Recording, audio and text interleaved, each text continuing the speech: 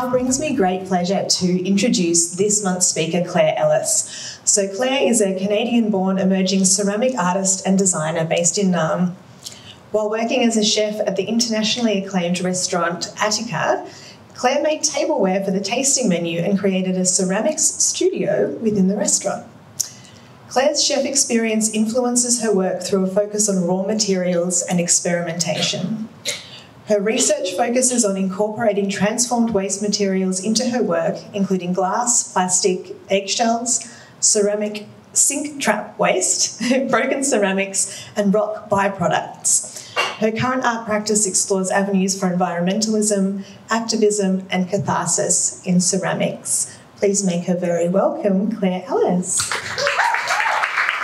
So, firstly, thank you so much for making the time. Claire had a, a dramatic kiln event this week that almost threw, threw things into disarray for us. So, we really appreciate you making the time to be here with us today.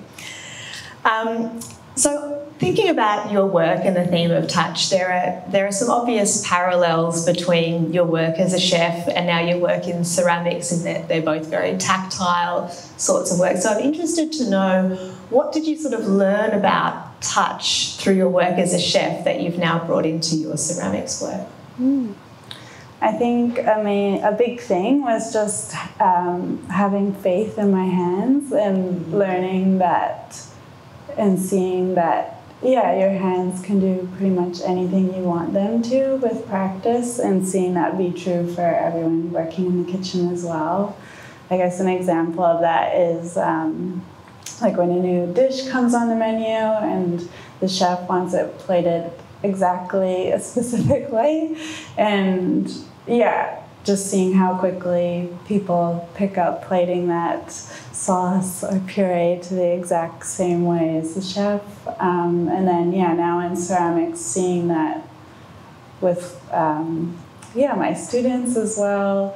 I'm teaching wheel throwing, but yeah, a lot of people don't realize wheel throwing is as challenging as, as it is at the start. And um, yeah, you see a lot of students sometimes worrying they're not going to get it, or it's going to be too hard, or they won't be able to make the work that they want to. Um, but yeah, absolutely, everybody can. Like even the trickiest things, it just obviously takes different people a different amount of time to pick it up. But just, I guess, yeah, just that faith that you can always strengthen that mind body connection and the hand eye coordination. Um, definitely, people who in their jobs they work with their hands have a huge head start. But yeah, mm. just I guess believing that, yeah, with practice you can do anything. I, love, I love that having faith in your hands, and it's yeah. a thing that I think comes up in lots of creative industries that there's uh, a misunderstanding that there's perhaps some sort of like magic or, secret to it, but a lot of it is, is just using your hands in practice over time, isn't it? Yeah, exactly. Yeah, some people think, oh, I'm just not, I'm going to be no good at this or I can't do it, but it's just, yeah, it's not that one person is special and they have this secret magic skill. It's just they maybe have a stronger hand eye coordination, but that anyone can strengthen that. Yeah. yeah.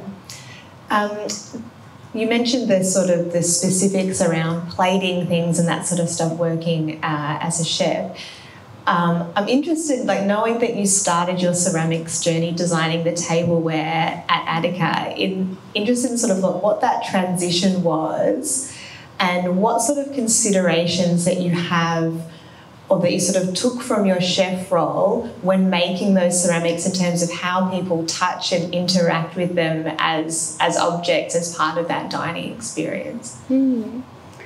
yeah so yeah something to think about i guess when making or when i was making tableware for attica is or any restaurants is kind of continuing on the story of the food or adding to the story of the dish um, yeah so actually the first custom plate I made for Attica was um, a crocodile textured plate. Um, and that's kind of how what led to making ceramics for Attica and making the studio there was um, yeah, I had been taking lots of wheel throwing or any courses and workshops I could on my days off, and I was also on the R and D team at Attica where we would talk about yeah menu development, and we were talking about a crocodile rib dish that was going to come on, and I thought yeah I had the idea to make the crocodile skin textured plate, which was luckily worked out, and then yeah that led to making more and making the studio, but yeah, I guess it's making people feel cared for, and I think custom tableware can do that, where they feel that you've considered every detail and they can see the time. And I think it's that extra human connection when you eat off handmade tableware of yeah, you're connecting to that person and you can yeah, it's kind of that time they've invested in making the work and thinking about how you'll use it is kind of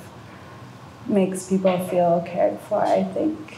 Yeah. yeah. I love the thought of continu- continuing the story of the food. So it's not only sort of the utilitarian aspects of how you would like someone to use it, but also how it makes them feel and how yeah. it, it um, uplifts the, the story of the food as yeah. well.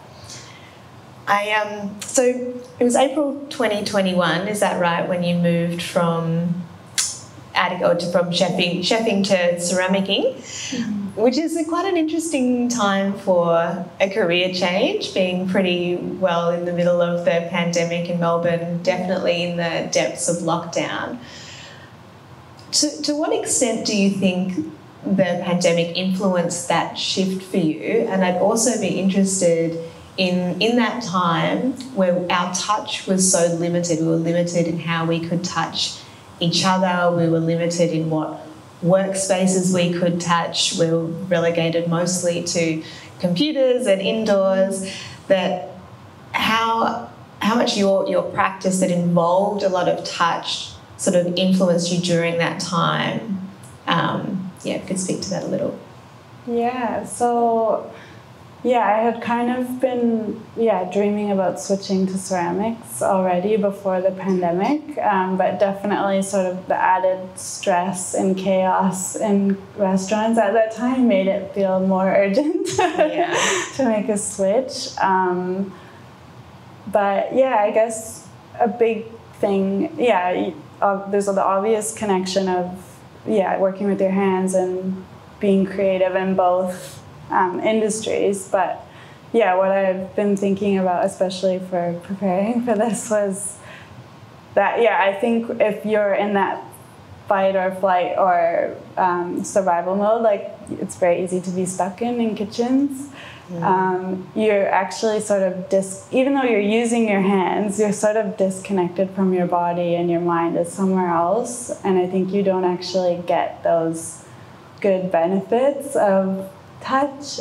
Um, but yeah, so I guess switching to ceramics has been, and in the pandemic, yeah, it's, I guess a big thing that's been slowing down. I found that, yeah, if you're rushing and you're, um, yeah, just trying to do everything as fast as possible, yeah, you're not really connecting with the sense of touch. Um, but yeah, so it's was it's still i guess an ongoing thing for me to work on is like reconnecting with my body trying to slow down trying not to feel in a rush and yeah i guess working with your hands can be a good way if you're present of getting in flow and connecting with your right brain but i think you can't access that when you're yeah. Under the pump. Yeah under yeah. the pump and maybe more in critical and analytical left side brain. So i think yeah mm. that slowing down in ceramics has been the the speed is the big difference between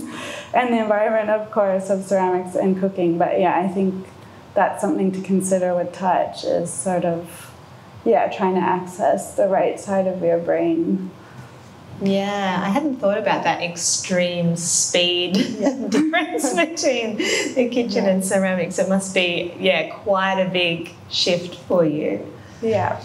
Um, so you mentioned that your work touches on environmentalism, activism, but also catharsis, and it sounds like that is both on a personal level for you, but also the catharsis that comes along with um, seeking seeking solutions through the sorts of materials that you use in your work. Um, and mentioned all of those sorts of things in the intro that Claire uses in her work, that a lot of sort of studio wastage that you end up putting back into the work. Um, and in, ter- in terms of that and touch, I'm quite interested at what point does it sort of stop becoming waste and start becoming the work? Do you know what I mean? Like there must be a moment of transition between when that is rubbish in the sink and when it's something about how you handle that and touch that makes it turn from something useless into something beautiful. Um, if you could speak to us a little bit about the materials and that process, that would be great. I think the key thing is actually not seeing it as the transformation needing to happen so much for it to be seen as valuable and beautiful, but kind of never looking at it as waste and kind of always seeing the beauty and value in it ahead of time. Um, yeah, I think to have big change, it's just about changing the way we relate to materials and yeah, seeing them not just as stuff and yeah, seeing the value in all of them, I guess. But yeah, I think the more designers and artists use waste materials, the value will change and people won't look at them the same way and won't feel the same about this is something that we throw out. It's like, oh, this has value. But yeah, something that's I'm hearing more about is like um, material agency or indigenous perspectives on materials where you might even consider materials as equals and sort of not seeing them as something to just use and throw away that yeah respecting and valuing them as yeah not just stuff yeah material agency yeah that's, that's what a beautiful concept mm. that was yeah a part of a title at an Pavilion talk recently. Um, yeah. Oh, amazing. Yeah. We might open it up now if anyone's got some questions for Claire, and don't have to be directly related to touch about Claire's work, yeah. ceramics. Yeah. Um, hi. hi. So I I got into ceramics during the pandemic as well, and I have this critical mass of objects that just hang out in my house. and my partner's like, I would like living space back. so yeah. advice on sort of making the leap into a more, I'm giving my ceramics to other humans.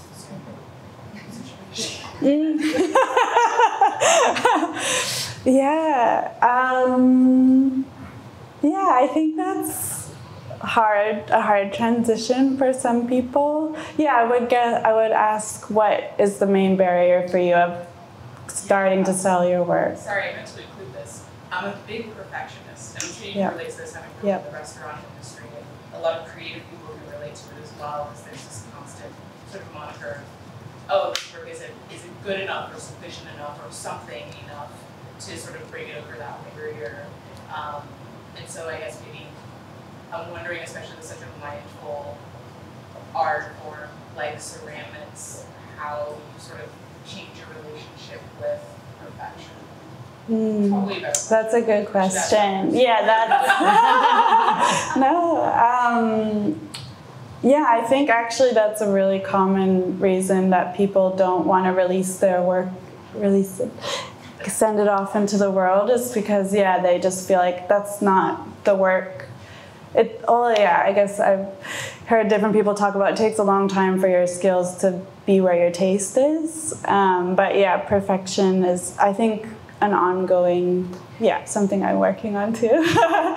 But something that helped me i guess was just yeah that that work isn't you. it's an extension of you, but it's not this is me and this is says everything about me as a person. It's like that represents your stage at the moment or where you are at the moment, but that will continue to evolve and grow, and you're not going to be judged by that one thing that you're making right now, I guess, and that it's part of your journey, and that's beautiful. yeah. It's a tough one to navigate for all creatives, yeah. I think. So, uh, yeah, something I, my sister, I don't know if this helps, but she's an art teacher, but she, I was having trouble with that at the start too. And she said, think about like retrospectives of amazing artists. It's going to be such a variety of work, and often what they made at the start isn't necessarily what they're known for, but like there's going to be a big variety in there, and it, you don't have to have it all figured out at the start, like nobody does, and other people can understand that too. I think. Yeah, that's a great way to think about it. Good. Welcome. Yes. Hi. So I um, I used to practice as well, but not with a huge amount of time. I'm interested in you went from doing it regularly to doing it a lot.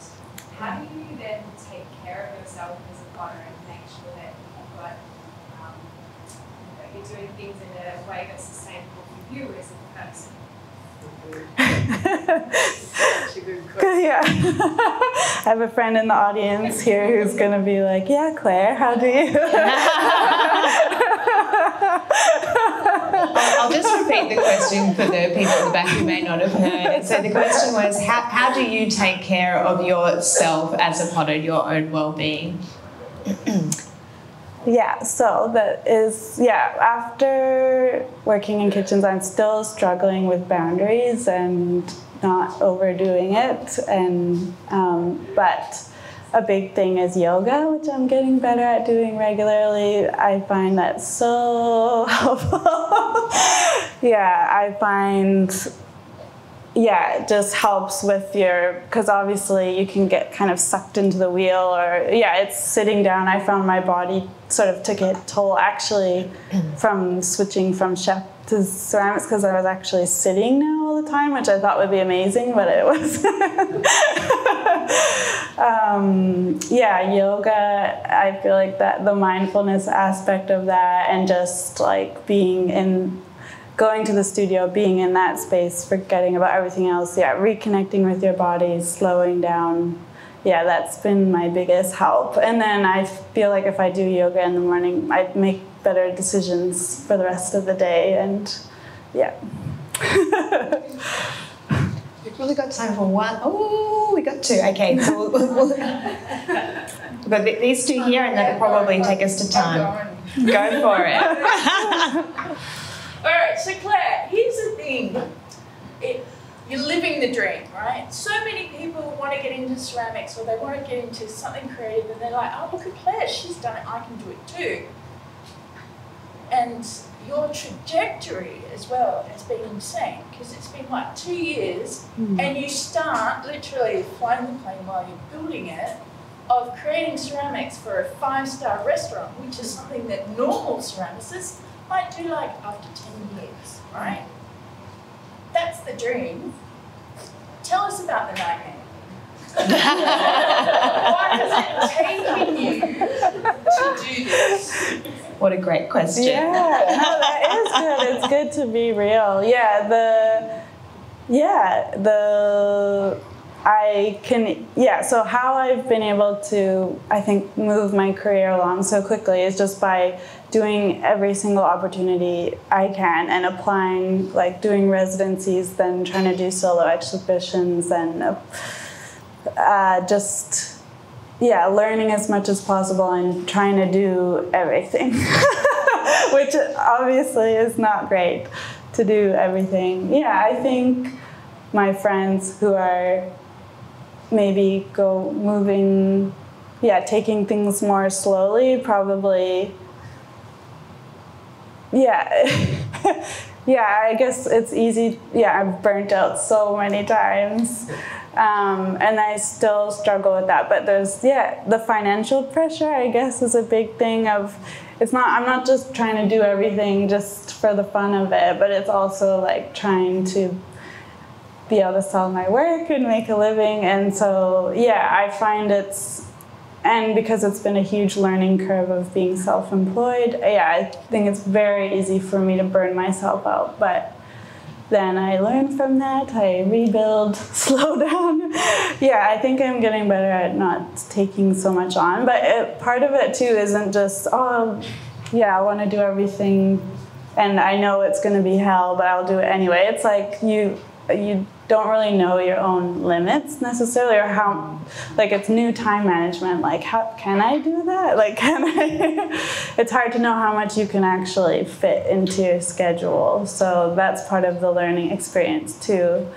But yeah with ceramics i feel like because it's such long projects by the time you realize oh that was too much you're already like sort of you got to ride it out. But yeah, yeah i guess just learning, talking to people who tell you. Or now I check with people before I say yes to something. I go, yeah, have yeah, check with my friends or my partner if they think that it's manageable. Good move. Yeah. Good move. Thank you for that question because I think it's always really important. We can get very caught up in seeing these like amazing achievements and all this sort of stuff, but there's so much um, blood, sweat, and tears that goes into that behind the scenes. Alice, did you have a, a final question for us? Please. I'll make this quick. So this is a more process-based question, and I was thinking about in the food industry. I would imagine, obviously, like when you're, it's the difference between experimentation and execution, right? And like on the night at a restaurant like Attica, like you have to deliver something perfect every single time. Like you're not there in that moment to innovate. But that, but as you said, like you have a whole R and D department. Like you carve out time to think about innovating. And I was wondering in your ceramic practice, like, is that more intuitive? Do you switch between, like, are you, is it in the moment you're playing, you're making a mistake, you're innovating from that, or do you set aside particular time to play and a particular time to like execute 20 of that thing? I'll, I'll, just repeat that quickly for people who didn't hear. So the question was around finding the balance between experimentation and execution. So how do you find the right balance between playtime and go time? That's a good question. So yeah, at Attica, we would have one or two R&D like it would normally be the same, but sometimes it would change. But yeah, normally at least one one hour kitchen meeting which would sometimes go longer. But yeah, that at Attica was kind of a set time, and then we would talk about things, and then we would just have to fit in testing new things around our prep list, which was a bit hectic. But um, now in my practice, I would love to have that of like, or even a play day, even not R and D. I do have R and D, like yeah, planned in a time blocking thing, but I struggled to actually follow that. but um, yeah, I guess I do it now whenever I feel the need. Like I feel like yeah, the experimentation and the R and D is the part that's really exciting for me. And so whenever I'm feeling frustrated or a bit stuck or just burnt out, like doing some tests and experimenting can help sort of replenish the levels. so it's right now it's just yeah, whenever I can make time for it. And sometimes I don't have time for it, but I'm like, I need to do this for my sanity. yeah. Thank you, Claire. Thank you, everyone, for your brilliant questions and for coming this morning. Can we give a huge round of applause to Claire?